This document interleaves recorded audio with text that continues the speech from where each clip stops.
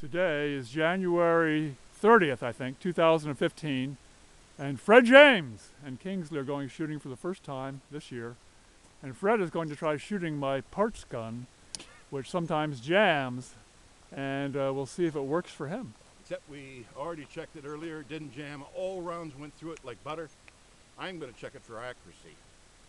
And I'm going to aim at uh, a multitude of those little orange shot things. And we will see what happens. Are we cool? Yes. Carry on. At ease. Here we go. Okay, here are the orange things that Fred was alluding to. You got yeah. Okay. Here we go.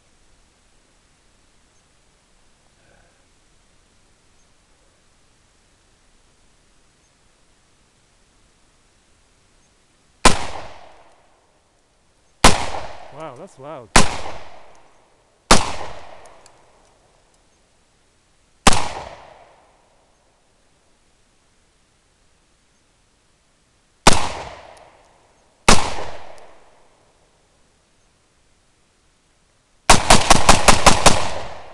I like it. I'll take five.